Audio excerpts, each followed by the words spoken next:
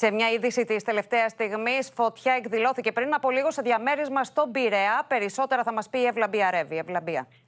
Ναι, Ματίνα, κυρίες και κύριοι, η πυρκαγιά ξέσπασε σε ισόγειο διαμέρισμα στην περιοχή της Φρεατίδας. Όταν έφτασαν εκεί οι πυροσβέστες, τους είπαν ότι ενδεχομένως να υπάρχει κάποιο άτομο μέσα. Οπότε μπήκαν γρήγορα στο φλεγόμενο διαμέρισμα και βρήκαν μία ηλικιωμένη γυναίκα 81 ετών, η οποία έχει κινητικά προβλήματα σύμφωνα με τις πληροφορίες μας. Ευτυχώς την απομάκρυναν εγκαίρως και αυτή τη στιγμή ασθενοφόρο του ΕΚΑΒ έχει σπέσει στο σημείο, της δίνει τις πρώτες βοήθειε βοήθειε. Οι πληροφορίες μας λένε ότι είναι καλά στην υγεία της. Θα εξεταστεί αν θα πρέπει να μεταφερθεί σε νοσοκομείο.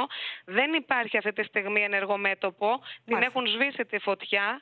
Πιθανότατα ξέσπασε από μαγειρικό σκεύος, ενώ απομακρύνθηκαν και άλλοι ένοικοι από την πολυκατοικία, καθώς η καπνή ήταν πολύ πυκνή.